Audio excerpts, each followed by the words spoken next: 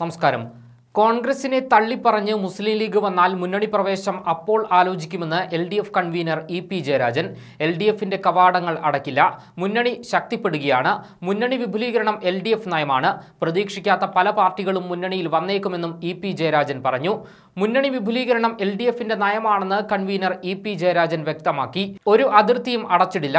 പ്രതീക്ഷിക്കാത്ത പല പാർട്ടിയും എൽ ഡി എഫിലേക്ക് വന്നേക്കാമെന്നും ഇ പി ജയരാജൻ പറഞ്ഞു. ലീഗ് ഇടതുമുന്നണിയിലേക്ക് വരുമോ ഇല്ലയോ എന്ന കാര്യത്തിൽ നിലപാട് വ്യക്തമാക്കേണ്ടത് മുസ്ലിം ലീഗാണ്. മുസ്ലിം മതവിഭാഗത്തിന്റെ ഇടയിൽ വലിയ തോതിൽ അസംതൃപ്തിയാണ് ഉള്ളത്.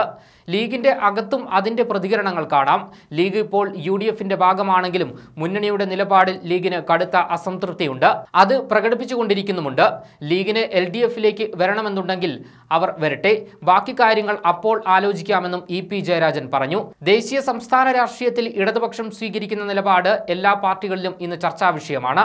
എല്ലാ പാർട്ടികളിലുമുള്ള അണികൾ ഇടതുപക്ഷ മുന്നണിയുടെ നയത്തിൽ ആകൃഷ്ടരാകുമെന്നത് യാഥാർത്ഥ്യമാണെന്നും അദ്ദേഹം പറഞ്ഞു. ആർ എസ് പി ഒരു ഇടതുപക്ഷ പാർട്ടിയാണ്. അവർ അതിനെക്കുറിച്ച് പുനർചിന്തനം നടത്തണം. യു ഡി എഫിൽ എത്തിയ ആർ എസ് പി ഒന്നുമല്ലാതായി. സംസ്ഥാന നേതൃത്വത്തിന്റെ പിടിപ്പുകേടാണ് ആ പാർട്ടി ഈ നിലയിലെത്താൻ കാരണം. അവർ പുനഃപരിശോധന നടത്തിയാൽ നല്ലത്.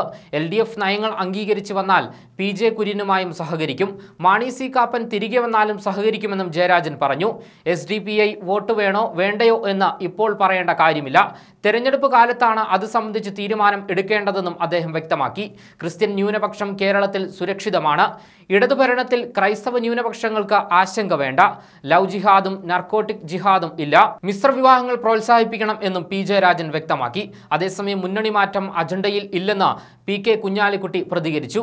ലീഗ് നിൽക്കുന്നിടത്ത് ഉറച്ചു നിൽക്കുന്ന പാർട്ടിയാണ്. മുന്നണി മാറ്റം ലീഗിന്റെ അജണ്ടയിലോ ചർച്ചയിലോ ഇപ്പോഴില്ല. ജയരാജന്റേത് ഔദ്യോഗിക ക്ഷണമായി കാണുന്നില്ലെന്നും കുഞ്ഞാലിക്കുട്ടി പ്രതികരിച്ചു. വർഗീയ ചേരുതിരിവിന് തടയിടാൻ സർക്കാരിന് ഉത്തരവാദിത്തമുണ്ടെന്നും കുഞ്ഞാലിക്കുട്ടി പറഞ്ഞു. ന്യൂനപക്ഷ വർഗീയത ഉയർത്തുന്നവർ ലീഗിന്റെ ശത്രുക്കളാണ്. എസ് ഡി പി ഐ ലീഗിന്റെ ആജന്മ ശത്രുക്കളാണ്. ലീഗിന്റെ ഇടം പിടിക്കാനാണ് അത്തരക്കാർ വരുന്നതെന്നും കുഞ്ഞാലിക്കുട്ടി പറഞ്ഞു.